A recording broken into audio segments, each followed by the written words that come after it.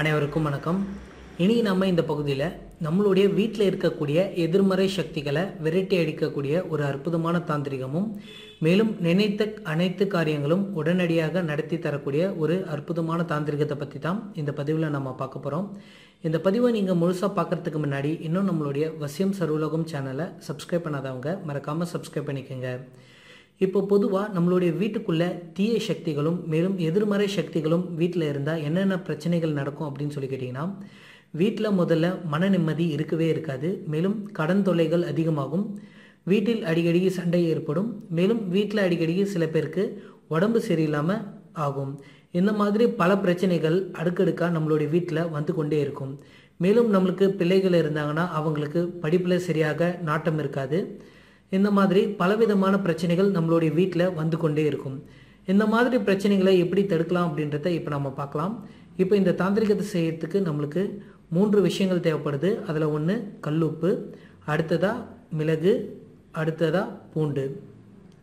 இந்த கல்லுப்புக்கு பார்த்தீங்கன்னா எப்பவுமே எதிர்மறை சக்திகளை விரட்டி அடிக்கக்கூடிய சக்தி எப்போதுமே இருக்குது நம்மளுடைய பல பதிவுகளில் இதை நம்ம சொல்லியிருப்போம். மேலும் கல்லுப்பிற்கு ஒரு அபாரமான சக்திகள் இருக்குது. நம்மளுடைய நினைவாற்றல்களை நிறைவேற்றக்கூடிய சக்தி கல்லுப்புக்கு இருக்குது.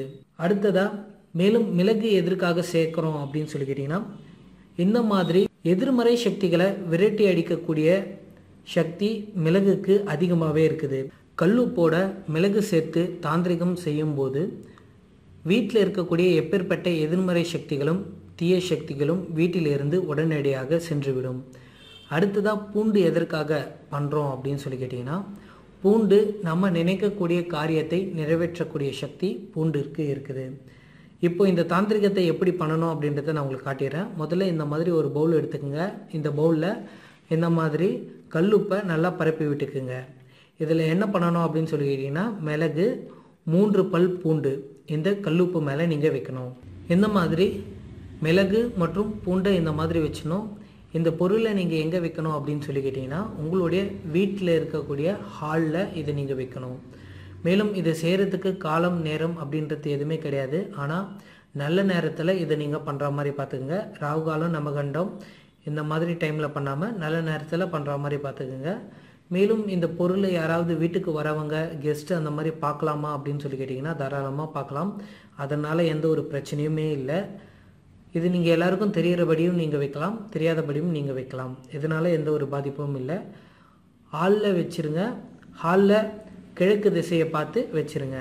இந்த தாந்திரிகம் உங்களுக்கு பிடிச்சிருந்தா லைக் பண்ணுங்கள் ஷேர் பண்ணுங்கள் மேலும் இந்த தாந்திரிகத்தில் ஏதாவது டவுட் இருந்தால் கீழே இருக்கிற கமெண்ட் செக்ஷனில் கமெண்ட் பண்ணுங்கள் மேலும் இது போன்ற வீடியோக்கள் நம்மளோட சேனல் அதிகமாக இருக்குது. அதனால் இன்னும் நம்மளோட சேனலை சப்ஸ்கிரைப் பண்ணாதவங்க மறக்காமல் சப்ஸ்கிரைப் பண்ணிக்கோங்க.